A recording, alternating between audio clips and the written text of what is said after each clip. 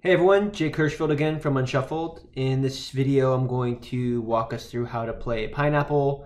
It's a new auto game that we've added. A lot of fun, really simple. It's just like Texas Hold'em, but one small variation at the beginning. So let's go ahead and get started. The first thing I'm going to do is I'm going to host a room with blinds on. I'll leave it at 510. I'll leave the blind intervals to nothing.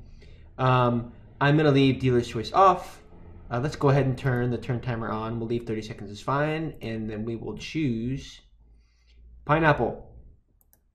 Once I do that, I'll go ahead and click play now. Join the room and I'll get some other players in and we'll get started. Okay, we are in our room. I've got the video turned off for all of our players and we're gonna go ahead and play a hand of pineapple.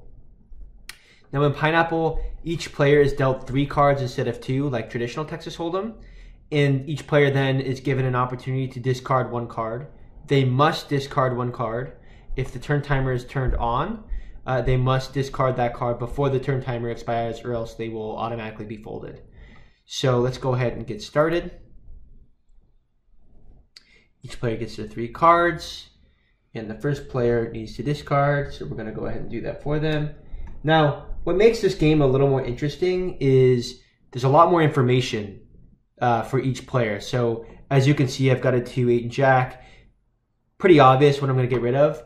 But in some cases, uh, it's not quite as easy. Maybe you have a 2 of clubs and then an 8 of clubs and a Jack of hearts. Well, do you want to go for the flush draw or do you want to keep the high cards?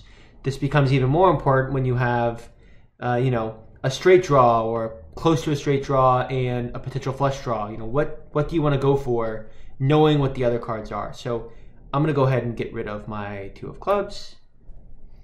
And that's it. Now it's my turn. I will call. The next person gets to go. We'll go ahead and call. And we'll just check. And now we're just playing Texas Hold'em.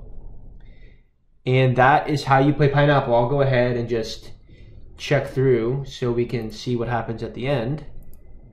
And we've got our last check and it looks like uh, someone won with a pair of jacks. Uh, and that's it. That's how you play pineapple. Super easy. Remember, discard your card uh, during the turn round before the turn timer expires, or else you will lose your turn.